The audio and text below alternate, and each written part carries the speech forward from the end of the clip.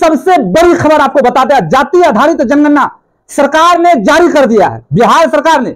आप कह सकते हैं, नीतीश कुमार का सबसे बड़ा दाव।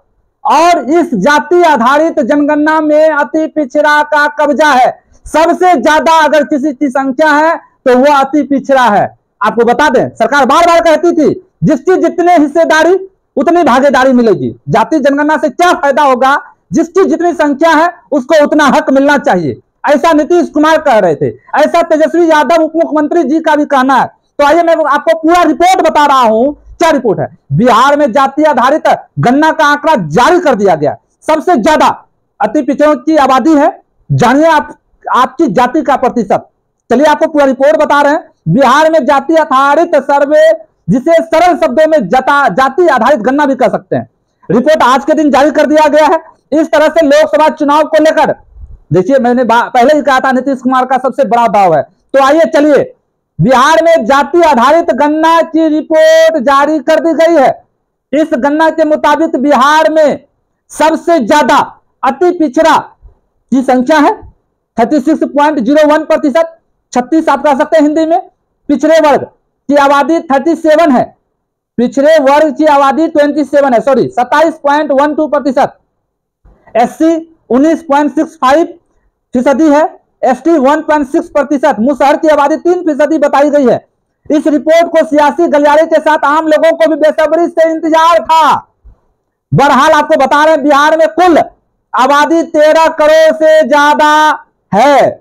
बिहार में सबसे ज़्यादा अगर मैं बार बार कह रहा हूँ, अति पिछड़ा का कब्जा है। स्क्रीन पे आपको रिपोर्ट मैं बताऊँगा, स्क्रीन पे आपको देखने को मिलेगा। और कुल आबादी, अनुसूचित जनजाति की कुल आबादी इक्कीस लाख निन्यानवे हज़ार तीन सौ, इक्कीस सैकड़ा हज़ार दस हज़ार लाख, इक्कीस लाख, जो कुल आबादी का 1.684 प्रतिशत है। अनारक्षित यानी जनरल कास्ट जिसे स्वर्ण भी कह सकते हैं। दो करोड़, दो लाख इक्यानवे हज़ार छह सौ उनासी है। ये बिहार की कुल आबादी 15.522 प्रतिशत है। इस रिपोर्ट नीतीश सरकार ने कुल 215 जातियों का आंकड़ा जारी किया है। इन आंकड़ों के मुताबिक बिहार में जाति के हिसाब से जनसंख्या आधारित है। मुसलमान मुसलमान सत्रह पॉइंट सेवन ज़ीरो एट फ़ीसदी है। यादव, चौदह है। कुर्मी, चौदह पॉइंट टू सिक्स सिक्स है। Kurmi, two point eight seven eight five फ़ीसदी है। Kushwaha, four point two one two zero है। Brahmin, three point six five seven five प्रतिशत है। Bhumihar, two point eight six eight three है। कुम्हार, one point zero five प्रतिशत है। आप देख सकते हैं मल्लाह भी है Baniya two point three one five five प्रतिशत है ज़ीरो पॉइंट सिक्स आपको पूरा रिपोर्ट देखिए, जाति जनगणना बिहार में लॉन्च करने से लॉन्च मतलब क्या कर सकते हैं? जाति जनगणना को लेकर क्या से क्या नहीं हो गया? बहरहाल, नीतीश कुमार तेजस्वी यादव ने अपने कैबिनेट में पास करके जाति आधारित जनगणना को लागू करने का काम किया। और उनका कहना था, जिसकी जितने हिस्सेदारी जिस जाति की संख्या जितनी होगी, सत्ता उसको उतना मिलेगा।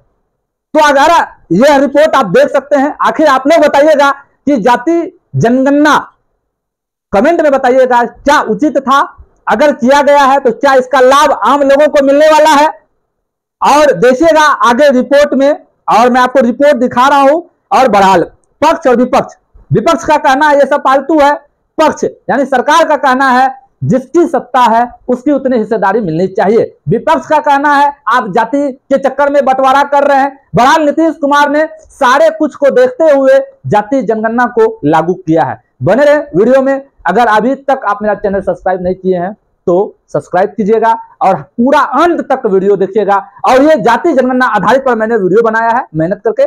जहाँ अगर कुछ त्रुटि हो गई होगी तो मैं क्षमा चाहता हूँ। जय हिंद।